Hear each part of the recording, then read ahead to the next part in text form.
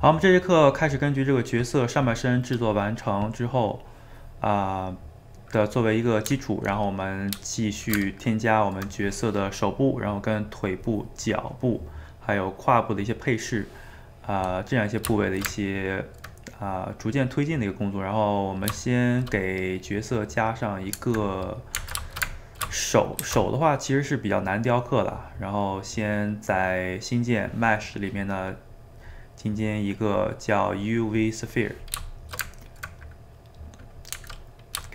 然后我们可以在这个地方呢给它加上，啊，原本是三十二，我们可以加到一百二十八，然后竖条的话可以加到六十四，哎，这样的话我们有足够的面去雕刻我们这样一个手部，然后我们可以把手部摆到个比较正确的位置，然后放大缩小，OK。然后我们进入到这样的一个啊雕刻的一个界面，然后我们可以去选择 G 键，然后去把手部的大概的一个形状呢，给它稍微的去通过移动这样的一个方式，呃，调整出一个比较合适的一个形状。所以说，一般做手的话，其实是比较难的。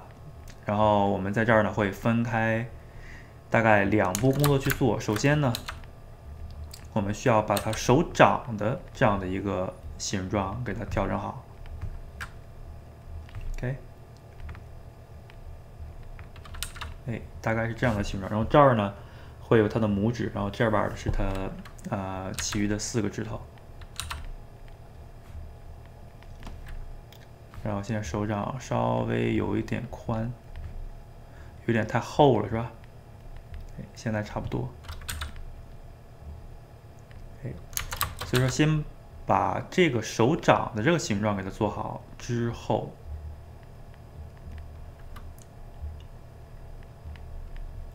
好，差不多。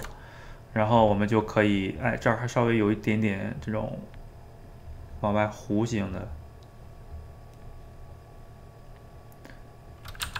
小结构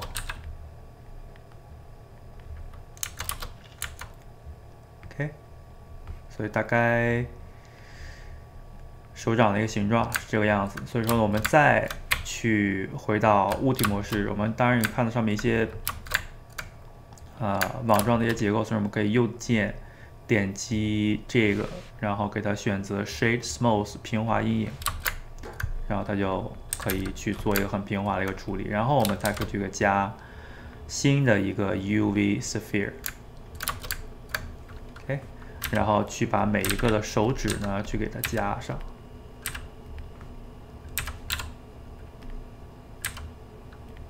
我们先把它放到一个对应的一个位置上，比如说这是拇指，然后我们看到这儿会有一个蜷缩起来的。啊，往内抠的这样的一个形状，我们先暂时先不做成那样，我们先给它做成直的这样的一个指头啊。所以我们先做一，先做两个，因为这四个的话，其实跟这一个是差不多的，所以先放一个之后，然后我们先去挨个调整它指头的结构。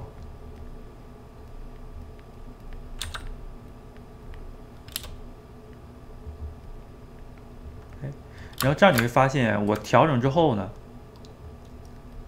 它有些变化呢不是均匀的，是吧？是因为我们现在之前给拉伸过，所以说呢，我们现在需要回到物体模式，然后呢，Ctrl A 应用一下它的 Scale 大小，然后再回到这个里面，哎，它现在就是一个很均匀的这样的一个一个雕刻的笔刷，之前会被拉伸，所以说一些。面儿呢，它不是一个很均匀的一个变化，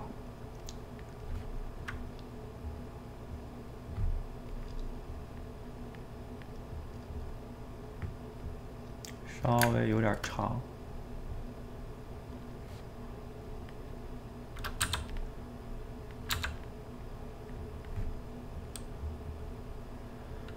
alright，所以基本这个形呢是从。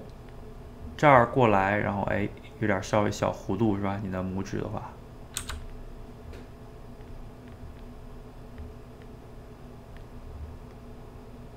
大概这个样子。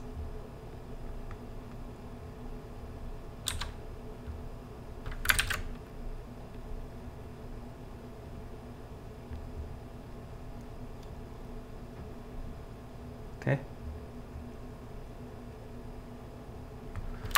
然后按第一键切换到这个食指，同样我们需要回到物体模式，然后应用一下大小，然后再回来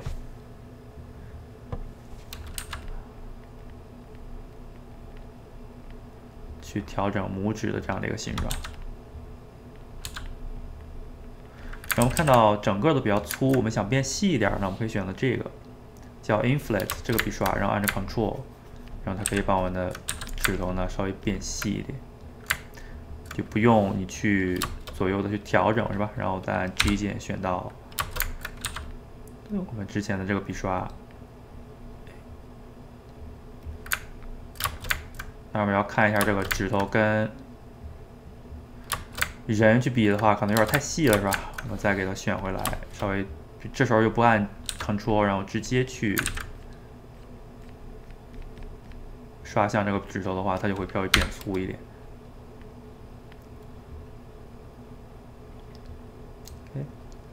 然后我们随时可以调整手掌的形状。现在手掌这儿，我觉得可以稍微再出来一点点。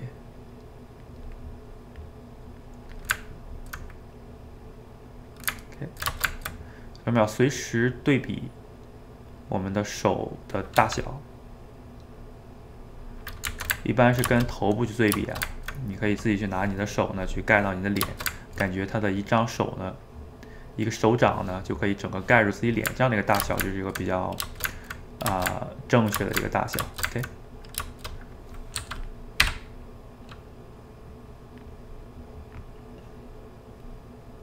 然后自然的往里面稍微有一点点弯曲。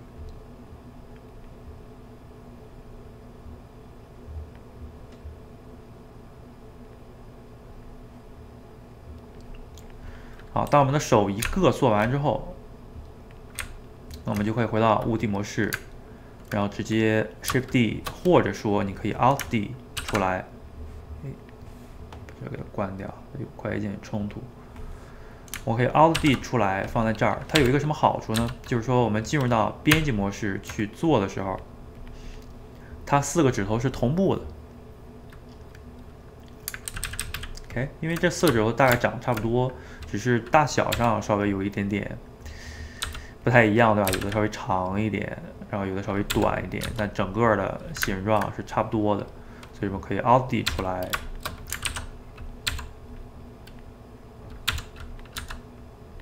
然后这个无名指的话可能稍微短一点点，然后最变化最大的就是小拇指，小拇指的话可能会更短一些，对吧？大概这个样子。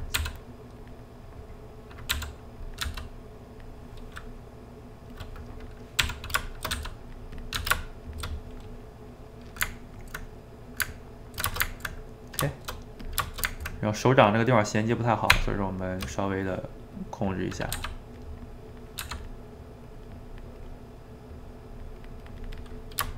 按住 Shift 去平滑一下。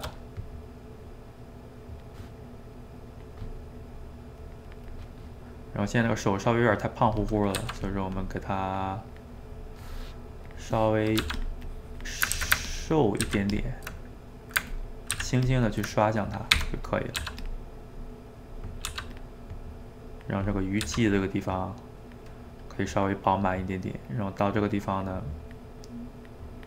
哎，就是你的骨头的一个位置，是吧？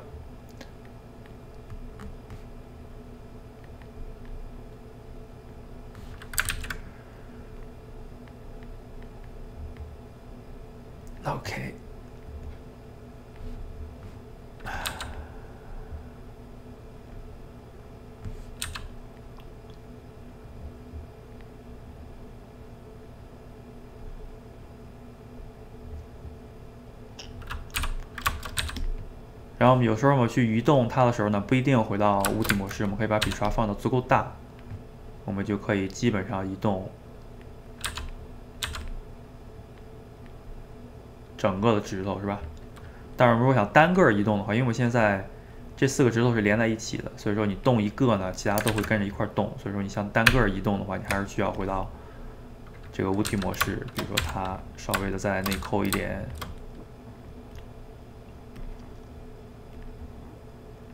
其实做这个指头的时候，有点像那个，啊，我们做的一些人偶，我买的一些那种塑模，然后你会发现，跟这个是有点类似，是吧？我这个小拇指的话，可能会有点哎，稍微往里面扣一点点，然后这个中指稍微出来的更多一点。包括食指。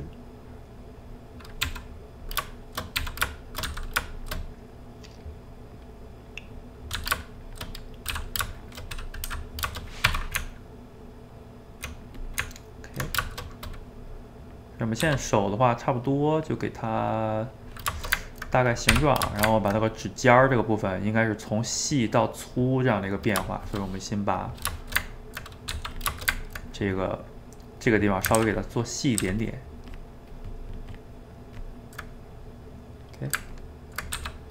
然后这个地方可能也稍微细一点点，关节处可能会稍微有一点点粗，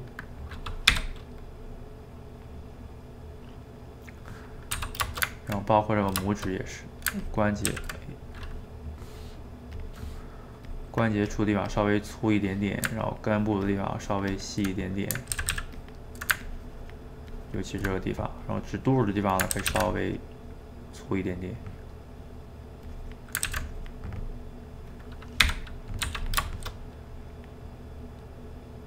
Alright，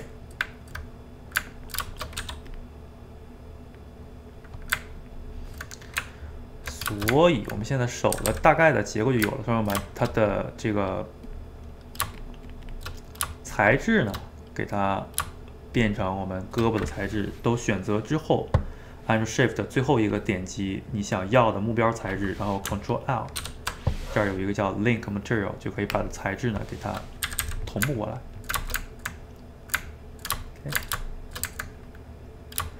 这个地方稍微有一点点别扭，这根线稍微有点太太硬了，所以我们适当的给它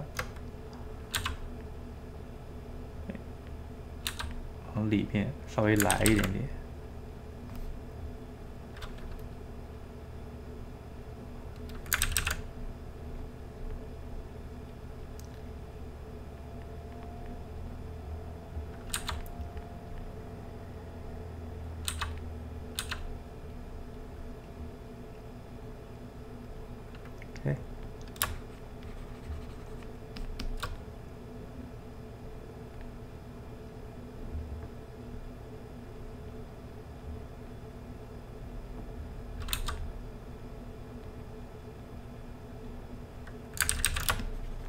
其实每个人手还是稍微有一点点区别的，并不是说每个人手长得都差不多，呃，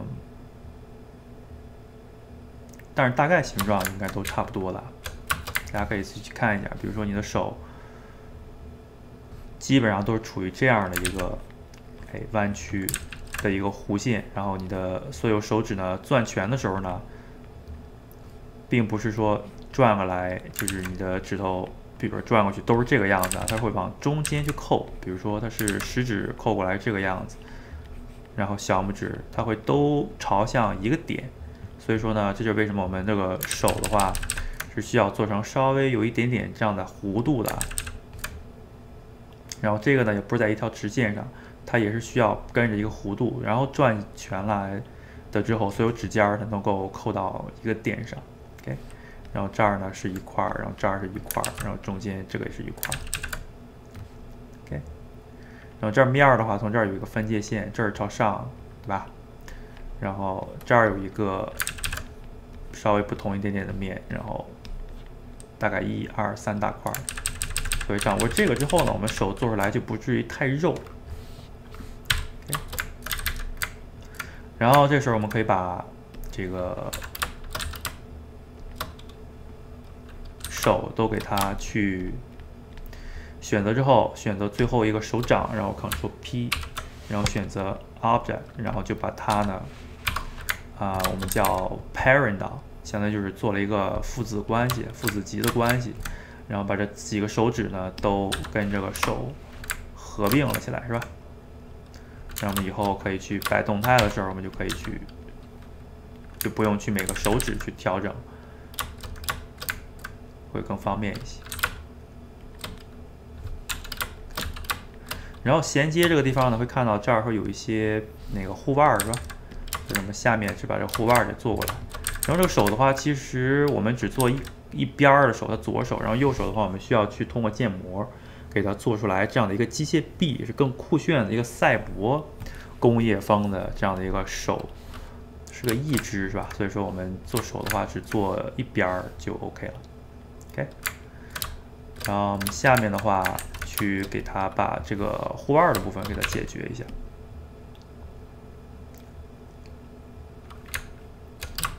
我们有很多种做法啊，比如说我们可以最简单做法，我们直接去选择这一块儿，比如说，呃，进入到它的一个透明模式，然后你圈选，比如说你想要的这个护腕的位置是吧？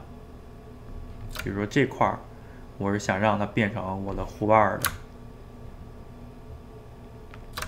你可以通过 Ctrl Shift 按住之后去简选或者去多选，让我们选择这样的一个面儿之后呢，然后可以 Shift D 出来，但 Shift D 出来你不要去把它放在旁边，你还需要跟它放在这个位置上，所以你 Shift D 之后呢，按下 ESC，然后它现在其实是已经两个面了，如果你去 G 移动的话，就看到对吧？它只是重合在一起。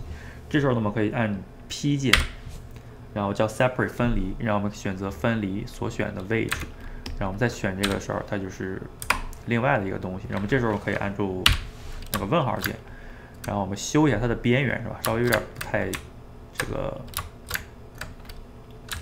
不太平，所以说我们可以适当的把一些点呐稍微挪一挪位置。但是呢，其实这个护腕的话，它并不是一个啊很均匀或者说很整齐的一个东西，是吧？这个边儿上的话可能会稍微有点参差不齐，但起码盖住的部分，我觉得还是可以让它变得嗯稍微看上去整齐一点点，是吧？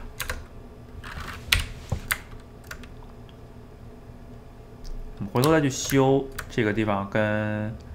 手的连接，我觉得这个地方可能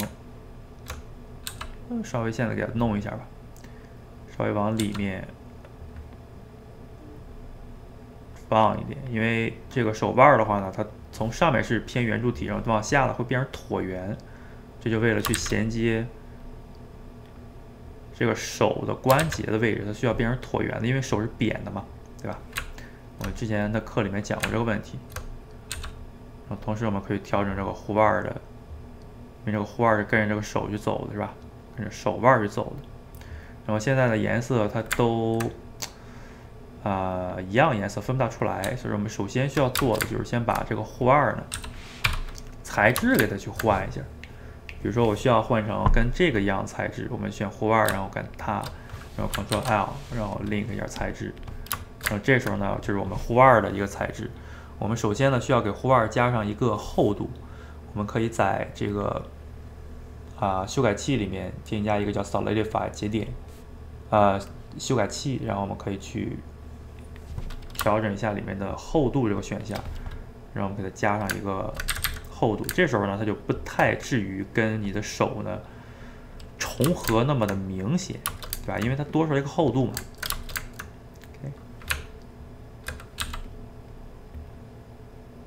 这时候我们可以去调整一下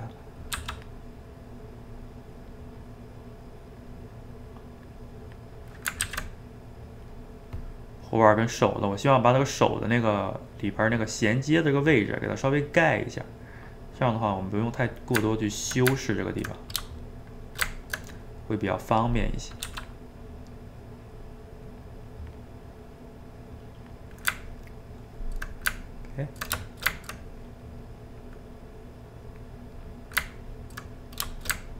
然后这胳膊在这个地儿稍微有点粗，然后这儿的话我们做了一个非常啊稍微偏细了一点点儿的这个处理啊，是因为这个角色我们做的这个风格化的角色，所以说一些地儿的那个呃形体是可以适当的给它做夸张的，所以我们这个里边这个胳膊呢，我们可以适当的也给它稍微调整一下这个形状，或者用这个笔刷呢，直接给它稍微往细做细一点点。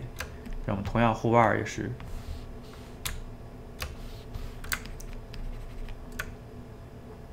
整体给它细上一圈儿，哎，这样看起来会比较 OK 一些。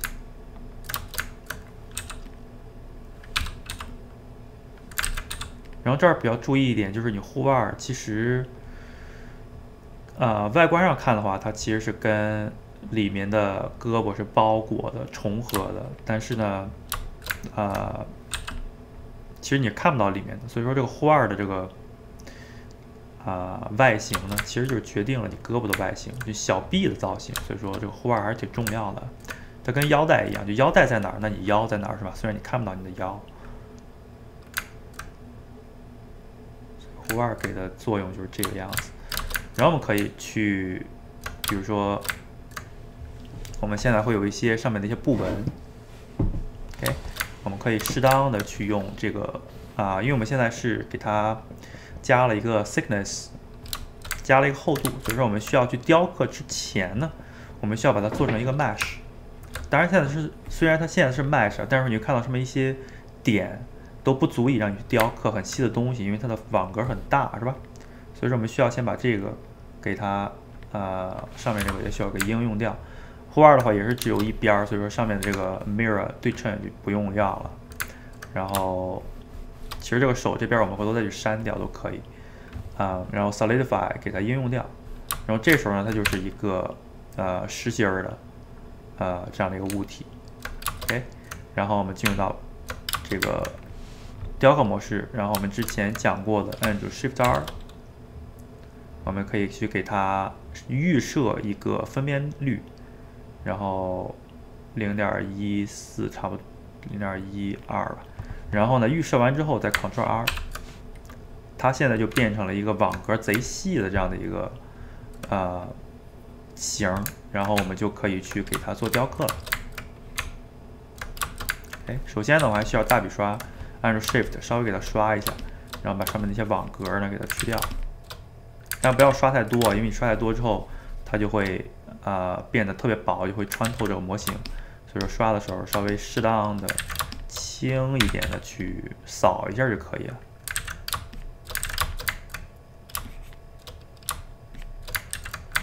然后我们可以选择啊，有很多笔刷你都可以去用啊，去做一些呃上面这些纹路什么之类。比如这个笔刷，我经常会用的是这个呃叫 cris 笔刷。OK，所以说你就可以去，我们可以去。单独看这个护腕，然后去给它加上一些这样的纹路。你如果你按住啊不按任何东西的话，它就会去啊抠进去里面的一个形状，OK 会变成这个样子。如果说我们按住它呢，它就会哎往外凸起。所以说我们一般的是先给它，比如说先抠进去一些一层。然后这时候呢，我们可以去画的时候呢，我可以在这个 stroke 里面，它有一个叫做叫 stabilize stroke，然后这个呢就稳定你的笔刷。然后我们点点开它之后呢，你会发现你拖动的时候呢，它会有一条横线，这样呢你就比较适合去做一个啊比较丝滑的一条线，因为你画下来的时候它会抖动比较多，然后有它去帮助你的话呢，你就比较容易去做这样的一条。比较直的线是吧？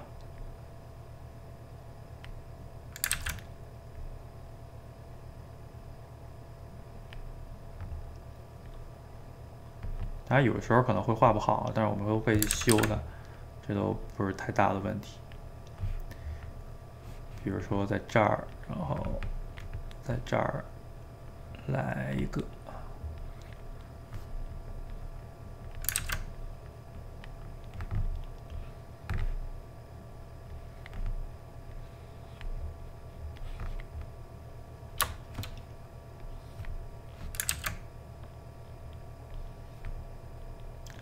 我觉得画这个时候呢，可以适当的呃放松一些啊，感觉因为它是布在缠在你的手上嘛，所以说不用太过分的呃把每一条线都画的很直、很漂亮什么的。我觉得稍微随意一点的话，会显得更真实一些。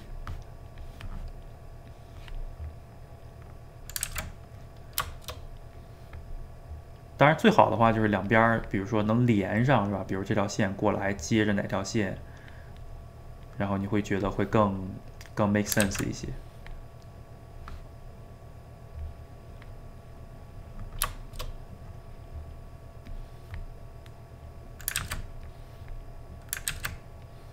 我觉得缠的稍微随意一点还是很好看的。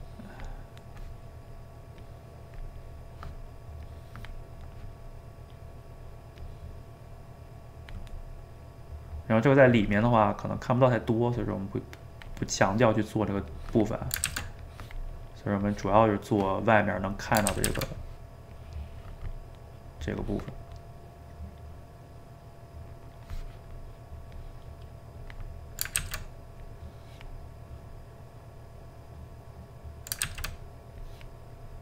现在看上去有点像花纹，是吧？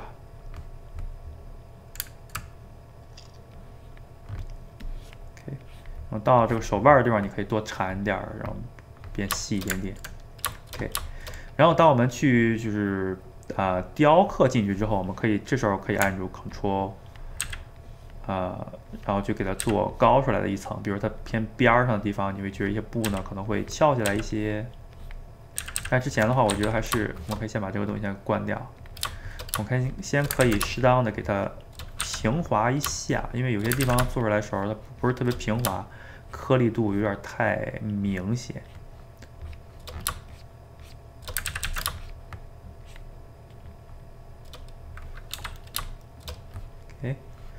然后我们可以在，比如说还有一些，比如说你不想去啊，比如说这个地方你不想去让它明显的这儿被切开，这儿有一个工具呢，叫做 Fill 填充，就是你就画它的时候，它会帮你把这个缝隙呢来给你填充进去。然后配合你的这样的一个啊平滑笔刷，就可以把这儿呢给你去删掉，或者说你可以再去重新做一个比较细一点点。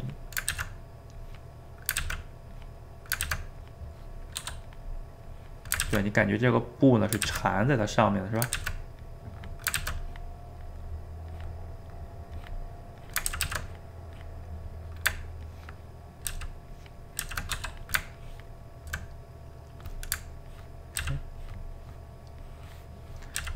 你可以配合着 Ctrl 去画，它就会加上这样的一些布褶，感觉会缠的更更真实一些，有点像雕刻这个衣纹的这个部分，是吧？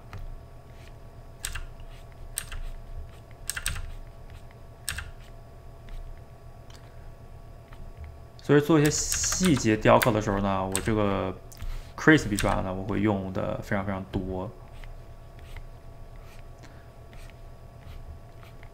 同时相当于就是把你的一些啊笔触呢变得很锐利，是吧？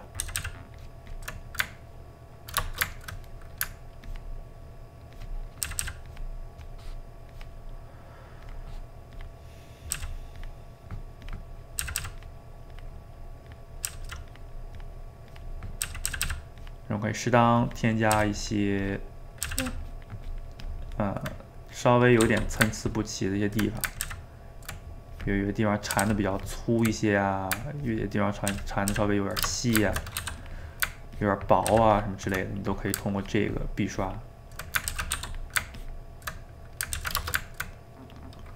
去给它做成一个很有意思的一个效果出来。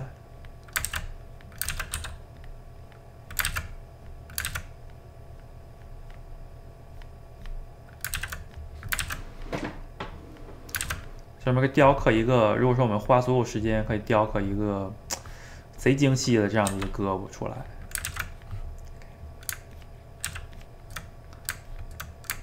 但在这儿呢，我就大概的去把主要外面的部分给它稍微那个做的细致一点点，是吧？然后里面这个位置呢，我其实没有太过多的去给它做，我觉得可以适当的啊有主有次一些。里面的话，毕竟不会看到那么太多，所以稍微带过一两笔示意一下就可以。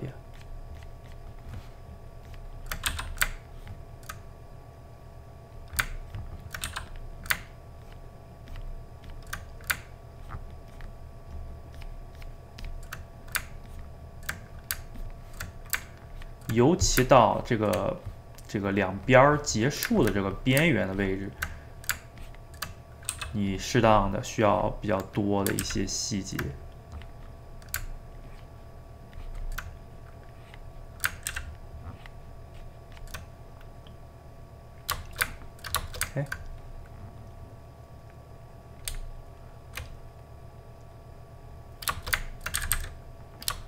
上面还会看到一些网格，是因为你的这个呃网格其实还可以再细一些，但是有点太费面儿，所以说暂时的话，我就以这样的一个精细度去给它结束掉这个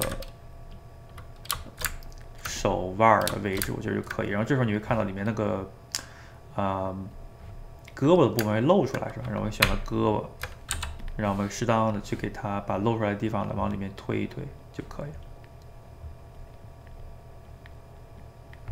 甚至说，有的时候你可以把这胳膊给它删掉都可以，因为外面会盖住嘛，所以说你看不到太多里面的这个位置。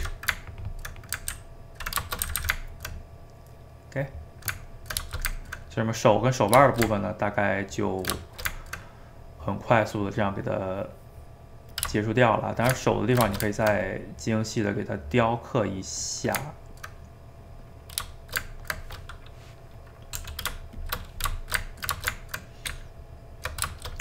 同样使用这个 Crease 笔刷，我们可以给它做上一些，比如说指头上的横纹。但是现在那个面数不够太多，所以我们适当的就给这个面数呢稍微给它精细一点点，零点一左右。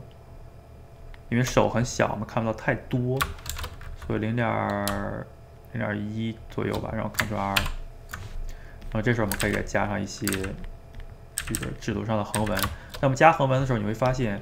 我现在不论画什么东西，它都很锐利，是因为这个 stroke 的 fall off 这个地方我选的是一个 sharp 尖锐，所以说做一些手上的一个纹路，我觉得用 smooth 就可以。哎，这样就不用不至于太尖锐，是吧？所以我们可以适当的去给它手上加上一些这样的一些纹路，然后这是你的指甲的位置。我们可能这个不需要做很细啊，所以指甲这个地方就不用挨个的给它都抠出来。如果说你想做的话呢，也可以去，也着实可以给它做的很细。OK，就在这儿呢，我就大概示意一下，就是你可以把你的指甲稍微有点太近去了，是吧？就是指甲可能会在这个地方，就看到有一点点凹槽。然后我觉得就可以了。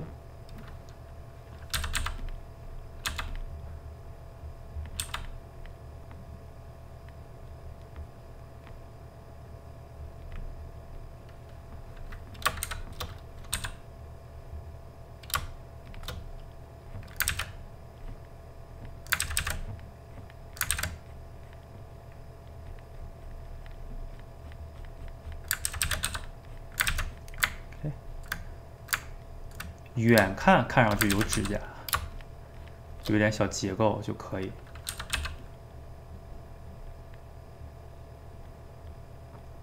OK，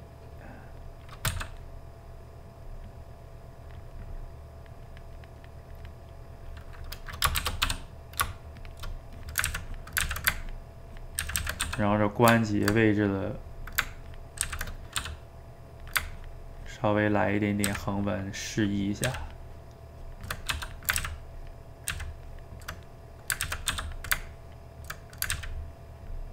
然后你的笔刷有时候它的力度有点太大，是吧？所以说你可以按住 ct shift C，，sorry，不是 Shift C，Shift F。这时候你可以控制你的笔刷的力度，这样做起来呢会比较柔和一些。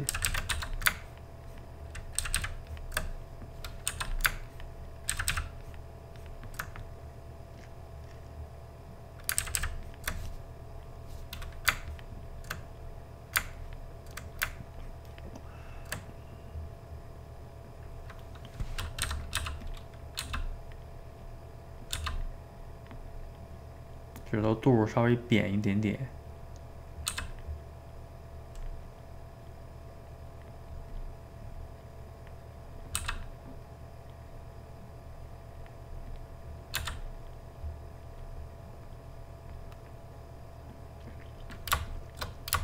OK，这边在这个视角上看，其实还可以了。这有点忒多了，然后每个指头呢，稍微给它再按照刚才的方法去给雕刻一下。首先它面是不够，所以说我们需要去给它细化零点一左右，然后 Ctrl R，然后再去加上一些纹路。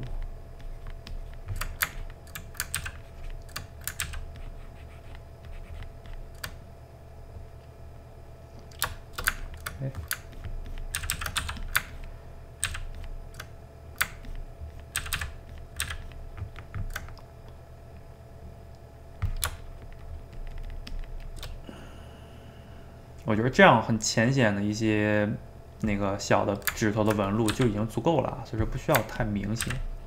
不是，毕竟我们做的一个角色呢，不是一个贼写实的一个角色，是吧？所以说我们现在用一些很概括的手法去给他做这个东西，我觉得是完全没有问题的。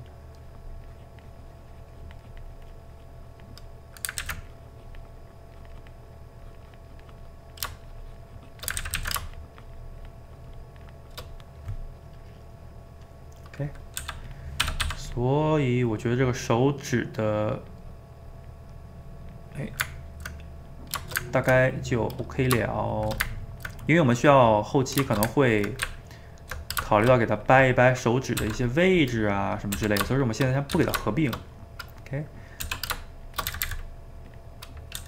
因为理想情况下呢，我们需要把这个手指，然后跟手掌去合并起来，然后呢把这些接缝呢去给它去平滑掉。但是呢，我们后期的话，可能你如果做了合并之后，你再去给它做一些啊，比如说啊手指的一些动作呀，就不是那么太方便了。所以说，等到摆好位置之后，再去合，再去那个呃合并手指，我觉得到时候是一个很好的一个比较方便一些。现在的话有点太早。当然，如果说我们纯做一个角色的话，我们不考虑给它摆动态的话，呃，这时候可以完全考虑给它做合并掉。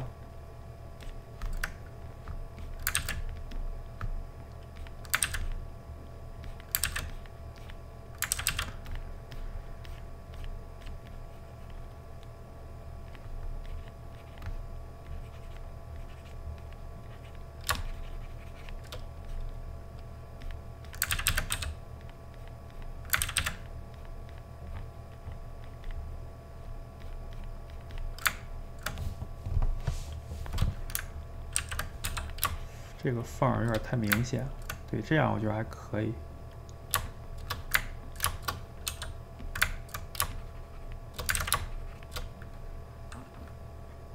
OK，那么现在先把手呢去留在这个位置，然后回头如果说动态摆好之后，我们再考虑给它做合并，然后再做进一步的细化。现在的话，我觉得暂时是 OK 的。我们现在觉得这个手掌可以再。转一下吧，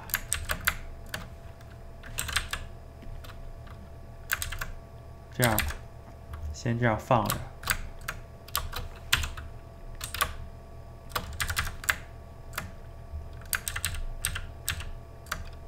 OK，好，我们这节课先把手的位置给它解决掉，然后下节课我们去给它做腿部的大腿跟胯的这些呃一些部分的。好，我们这节课先到这儿。